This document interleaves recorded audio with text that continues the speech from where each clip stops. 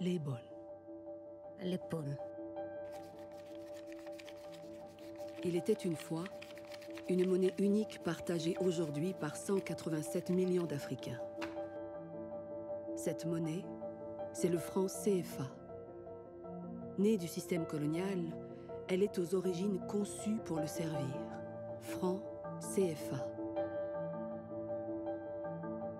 La monnaie a une histoire et elle dit un lien avec la France, avec l'expuissance coloniale qui n'a pas été rompue. Parce que euh, celui qui contrôle la monnaie contrôle la production, contrôle l'échange, contrôle la consommation. On ne peut pas comprendre l'histoire du CFA si on ne comprend pas de l'autre côté l'histoire de l'insertion primaire de l'Afrique au sein du commerce international. C'est exactement la même histoire.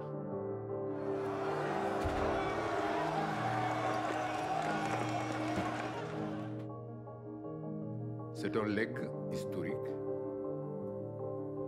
C'est un héritage empoisonné dont il faut se, se- se- se séparer.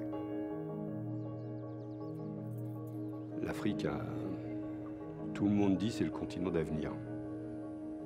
Moi, je suis toujours tenté de poser la question pour qui? Est-ce que c'est le continent d'avenir pour les Africains? Ou, est-ce que c'est le continent d'avenir pour l'Europe, la Chine, les États-Unis, euh, pour la, en, tout cas la France, qui, euh, a une histoire avec l'Afrique, une histoire coloniale, qui n'arrive pas à couper le cordon ombilical.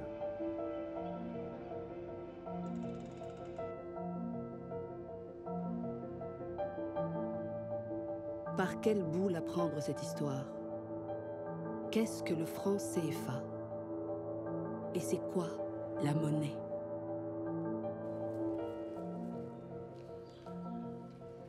Les bonnes. Ou à Libre. Madame Bon.